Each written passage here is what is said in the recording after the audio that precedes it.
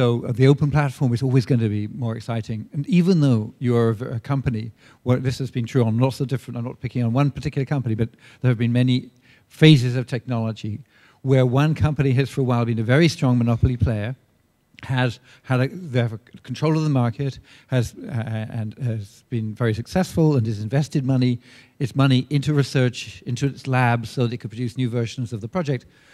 Still, you look at those times in history, and and you've realised that the innovation was limited to what happened in those labs. The innovation was happened to, limited to what happened in Bell Labs on the telephone. For years, the telephone's basically un completely unchanged. The, the, the, and so, uh, if so, when there is uh, a, a, company which controls access, then the innovation will never be as great as if as when it's open. That's why, yeah, I think I think the open internet platform is uh, is is very important, and and we should push for it.